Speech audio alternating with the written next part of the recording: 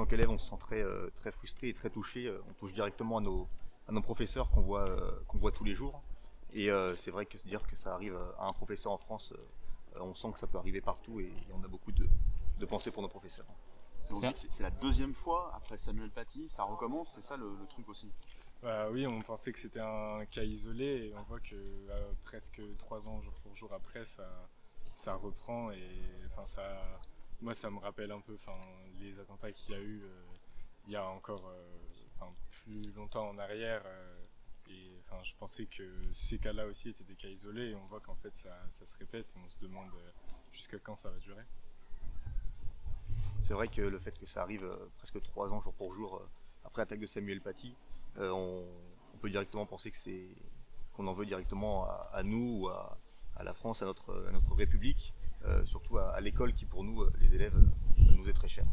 C'est important pour vous ce qui est ce type d'hommage, de discours?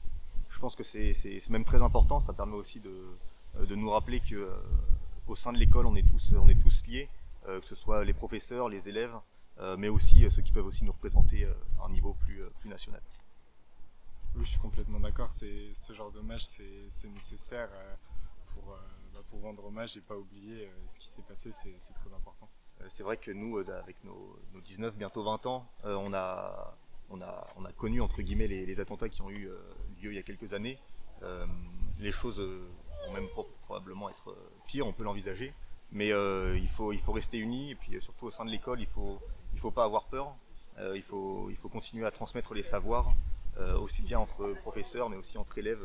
C'est aussi le moment d'être soudés tous les lycées et même au sein des classes euh, Moi personnellement, je me sens en sécurité, même si euh, avec tous les événements qui se passent en ce moment, il y a forcément une petite euh, angoisse que j'ai, mais comment dire, je ne ressens pas plus cette angoisse quand je suis au lycée. Je me sens pas en danger ici, c'est juste une sorte d'angoisse permanente face à cette situation.